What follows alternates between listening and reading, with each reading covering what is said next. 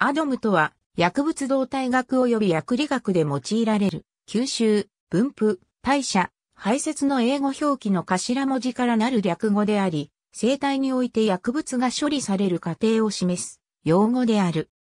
これら4項目は薬物の血中濃度と組織への暴露の教授変化に影響する。したがって、アドムは投与された化学物質の薬理活性と効用に関係する重要な項目である。組織において薬理学的作用を発揮する以前に薬物は血液、またはリンパ循環系に入らなければならない。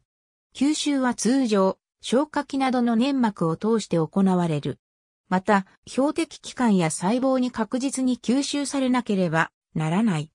血液脳関門のような自然の障壁が関連する場合、吸収の問題は深刻である。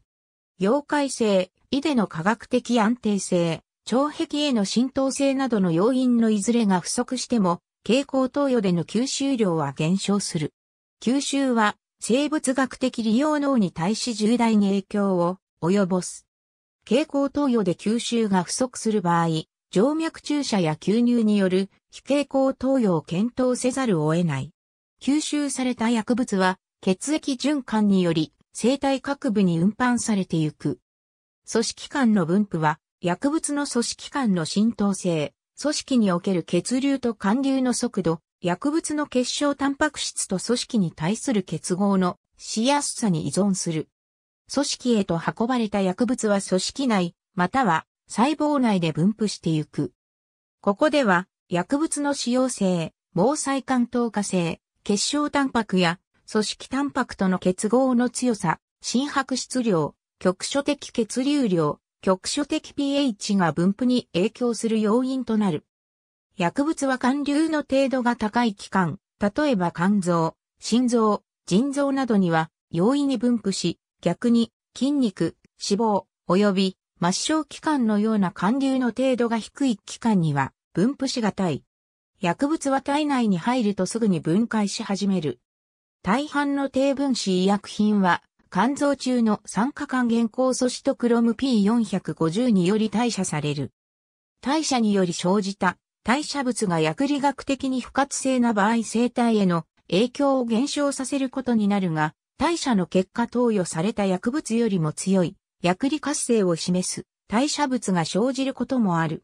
薬物とその代謝物は排出過程により生体から排除される。排出が完全でない場合、異物の蓄積は正常な代謝に悪影響を及ぼす可能性がある。生体からの薬物の排出は腎臓、肝臓、肺の3カ所で行われる。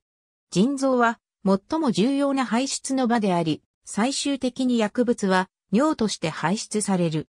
単重中排出、または糞便中排出のプロセスはまず肝臓で始まり、消化管を経て、その他の老廃物とともに糞便として排出される。気体の麻酔薬など肺を通して呼気とともに排出される薬物もある。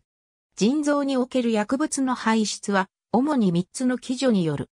化合物の潜在的もしくは実際の毒性も含めて、議論される場合には、アドムトックスもしくは、アドメイと表現されることがある。